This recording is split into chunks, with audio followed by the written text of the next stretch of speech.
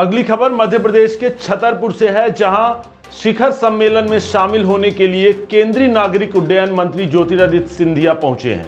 उन्होंने दो प्रशिक्षण एकेडमी का शुभारंभ किया है, पवन हंस लिमिटेड और federation of Indian chambers of commerce and industry. सुदूर और पहाड़ी क्षेत्रों में उड़ान योजना का विस्तार बढ़ाने और देश की ग्रामीण शहरी कनेक्टिविटी को लेकर चर्चा की जाएगी। खजुराहो सांसद बी डी शर्मा भी मुख्य रूप से मौजूद रहे हैं। आपको बता दें ज्योतिरादित्य सिंधिया का बुंदेली परंपरा के साथ स्वागत किया गया है।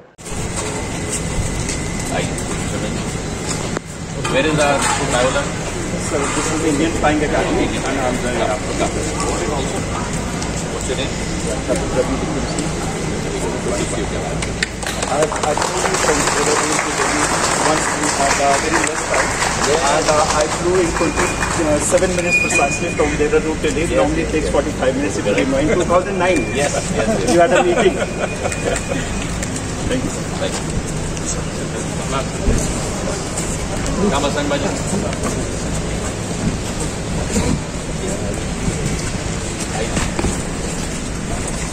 Thank you, sir.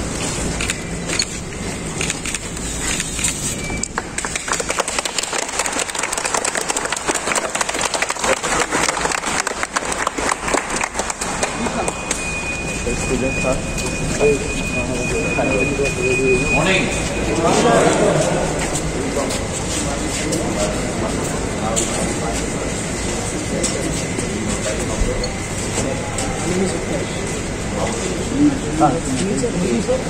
Amit, Amit, Amit, Amit.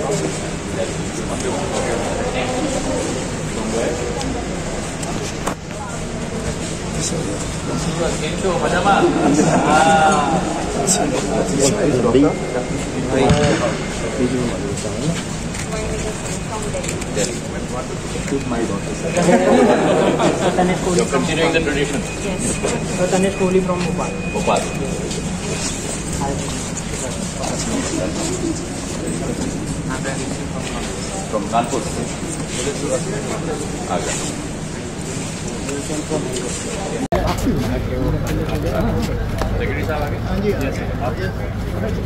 प्रसंग भाजी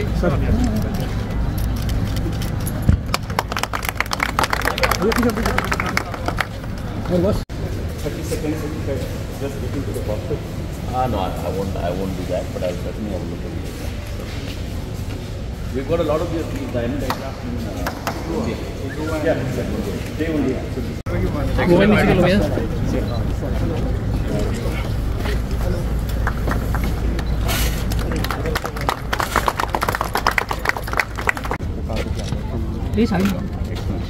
थोड़ा पीछे आगे करो।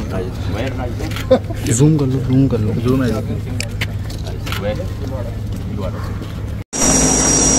कि सभी सम्मान्य मेरे महानुभावगण आज हमारे लिए खजुराहो में एक ऐतिहासिक दिन और एक ऐतिहासिक दिन, एक ऐतिहासिक स्थान में जो खजुराहो भारत की संस्कृति की नींव रही, जो खजुराहो में प्राचीन एवं मध्यकालीन मंदिरों की देश की नहीं, लेकिन अतिशयोक्ति नहीं होगी कि विश्व भर की सबसे बड़ी पूंजी है। और ये समय की मांग है, समय की पुकार है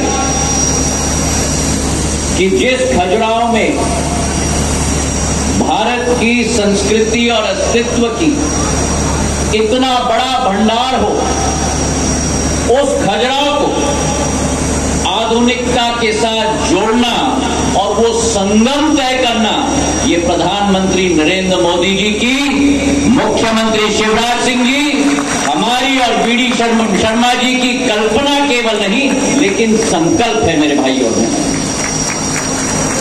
इस खजुराहो के देश का वासी होने के नाते केवल नहीं,